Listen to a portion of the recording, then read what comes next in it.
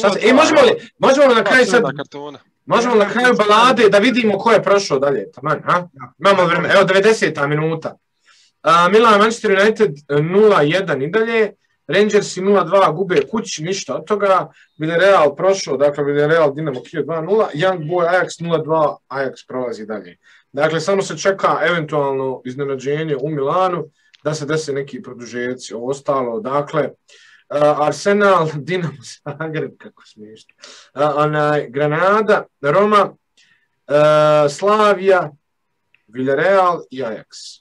Čeka I se samo, čeka se... Roma, čeka- Roma ili Rem- Slavija što se mene tiče, to bi ja volio. Preteški timovi. E, hajde ovako, evo kviz topovskog udara, hajde ovako, dobit ćete nagradu, ono, javno prozivanje. Evo, od mene, znači, pogodi, pogodite koga ćemo izvući. Ovaj, Koga ćemo izvući? Sad ćemo zapisati. komentare. Sad ćemo, sad ćemo šahmane, šamane, Written šta kažeš? Stars, written in značimo u sljedećem kolu. Dinamo Zagreb. DZ, dobro. Skipi, Roma. Roma. Ajdine. Ajax. E, Čuči. Manchester United. Da, Oh. jebote, United. To je to, to je to, svi smo, svi smo, svi smo napisali. Čuj, čuj, čuj. Čebe, Šibi, je? Šibi, pa zajebao. Klapa, Šibi kaže. Olimpijakos. Šta će Šibi? Evo, evo jedan Villarreal od mene, ajde. Ja mislim da možemo, ne Real. možemo teoretski biti... Evo ja kažem, ja kažem, ja čekaj, napišem, Čebeli Granada, Čebeli...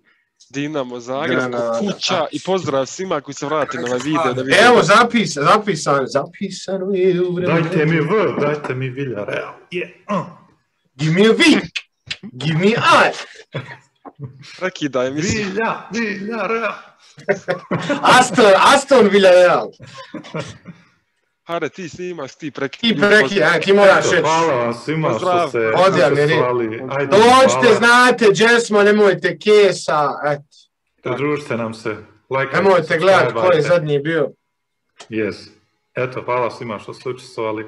Pa se vidimo uskoro, jel tako? Ajde, čao. Ćao. Ćao.